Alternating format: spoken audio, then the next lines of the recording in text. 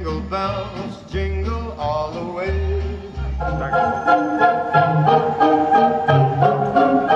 Με μικρές εκπλήξεις, χριστουγεννιάτικες νότες και γλυκά κεράσματα υποδέχεται τους καταναλωτές ο Εμπορικός Σύλλογος Ηρακλείου, δίνοντας μια γιορτινή νότα στους δρόμους της πόλης.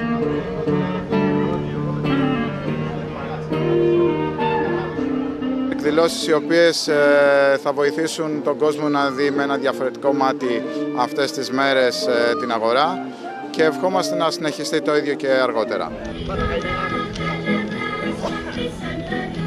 και πιστεύουμε ότι θα βρούμε τη φάση νωρίς για να κάνουμε Χριστουγεννάκια.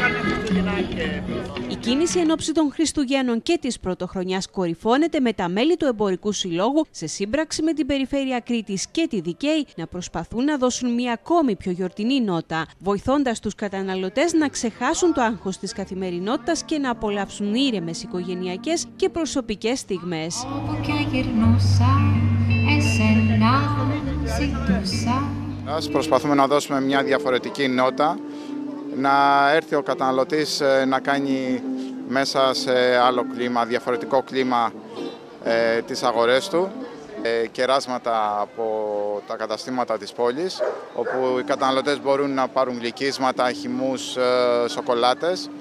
Ε, θα ήθελα να ευχαριστήσω τα καταστήματα που, συμμε- που συνέσφεραν, συνείσφεραν σε αυτό. Ε, και είναι πάντα δίπλα μας σε ό,τι και αν τους ζητήσουμε.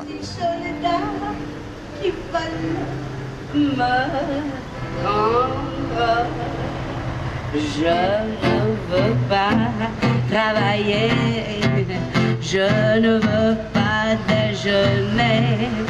Ήρωες της Disney που παίζουν με τα μικρά παιδιά, περίπτερα όπου μοιράζονται γλυκά και αναψυκτικά αλλά και μουσική που αντυχεί σε κάθε γωνιά της πόλης περιμένουν κατοίκους και επισκέπτες στις οδούς Καλοκαιρινού, Ήδης 1821, Κόσμων αλλά και στο Κουμπέ. Χρόνια πολλά σε όλο τον κόσμο, υγεία και ευτυχία και η επόμενη χρονιά να φέρει ε, καλύτερες συνθήκες και υγεία σε όλο τον κόσμο.